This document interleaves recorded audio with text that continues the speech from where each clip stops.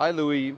What's new for MediorNet IP? Yeah, well, we have two novelty here at uh, NAB. We're introducing a new version of JPEG XS. We're also introducing HDR conversion. Before I explain what we do, um, I wanted to give you a, a little words on the application. In uh, standard production, what they do, they will have to deal with SDR and HDR signals in the, in the, in the production. Not only do they have that, but they need to produce in both HDR format and SDR because the consumer at the other end will, uh, will use uh, either one or the other format.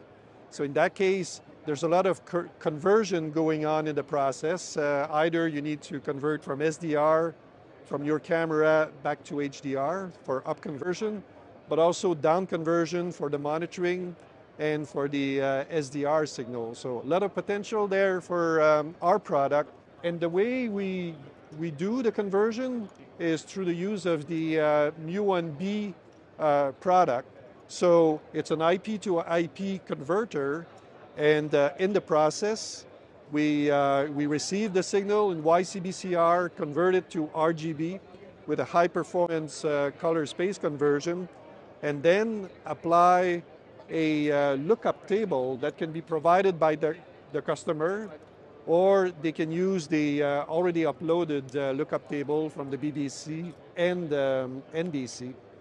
And then the process is executed and we, uh, we, we get a, an IP uh, output with the color transformation uh, at the other end. So what you also mentioned earlier was the JPEG XS app. So what does it do? Yeah, so, so this is our uh, JPEG XS uh, process. So it can be, it's an application that can be installed on the Fusion 3B, Fusion 6B, or even on the MuoN uh, SFP. So what we've done recently, we've just uh, Im improved the application to have the interoperability supported. So with the latest uh, specification of uh, TR08, that's available now. So one of the benefits of JPEG XS is light compression and uh, visually lossless uh, performance all the way up to 12 to 1 compression ratio.